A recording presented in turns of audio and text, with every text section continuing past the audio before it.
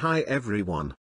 Golden Hind was a galleon captained by Francis Drake in his circumnavigation of the world between 1577 and 1580. She was originally known as Pelican, but Drake renamed her mid-voyage in 1578, in honor of his patron, Sir Christopher Hatton, whose crest was a golden hind a female red deer. Hatton was one of the principal sponsors of Drake's world voyage. A full-sized, seaworthy reconstruction is in London, on the south bank of the Thames. Queen Elizabeth I partly sponsored Sir Francis Drake as the leader of an expedition intended to pass around South America through the Strait of Magellan and to explore the coast that lay beyond. The Queen's support was advantageous, Drake had official approval to benefit himself and the Queen, as well as to cause the maximum damage to the Spaniards. This eventually culminated in the Anglo-Spanish War. Before setting sail, Drake met the Queen face to face for the first time and she said to him, We would gladly be revenged on the King of Spain for divers injuries that we have received. The explicit object was to find out places meet to have traffic. Drake, however, acted as a privateer, with unofficial support from Elizabeth. Golden Hind is described as a mid-16th century warship during the transition from the carrack to the galleon, and weighed about 120 tons. He first named his flagship Pelican, but renamed her Golden Hind on the 20th of August 1578 to honor his patron, Sir Christopher Hatton, whose family crest was a golden hind. He set sail in December 1577 with five small ships with a complement of 164 and reached the Brazilian coast in early 1578. On the 1st of March 1579, now in the Pacific Ocean, off the coast of Ecuador, Golden Hind challenged and captured the Spanish galleon Nuestra Señora de la Concepción, this galleon had the largest treasure captured to that date, over 360,000 pesos, equivalent to around 480 million pounds in 2017.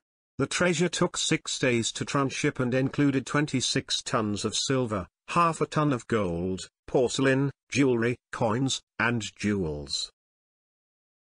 On the 26th of September 1580, Francis Drake sailed his ship into Plymouth Harbour with 56 of the original crew of 80 left aboard. The ship was unloaded at Trematon Castle nearby, supervised by the Queen's Guards. The final treasure also included six tons of cloves from the Spice Islands, at the time worth their weight in gold. Elizabeth herself went aboard Golden Hind, which was then permanently at Deptford on the south bank of the Thames, where she had requested it be placed on permanent display as the first museum ship. There, she shrewdly asked the French ambassador to bestow a knighthood on Drake. Over half of the proceeds went to the crown, her share of the treasure came to at least £160,000, enough to pay off her entire government debt and still have £40,000 left over to invest in a new trading company for the Levant. After Drake's circumnavigation, Golden Hind was maintained for public exhibition at the dockyard at Deptford, London. The ship remained there from 1580 to around 1650, 45 years after Elizabeth had died, before the ship eventually rotted away and was broken up. In 1668, the keeper of the stores at Deptford, John Davis of Camberwell, had the best remaining timber of Golden Hind made into a chair which was presented to the Bodleian Library at the University of Oxford, where it remains, with a replica in the Great Hall, Buckland Abbey, Devon, Drake's home and now maintained by the National Trust.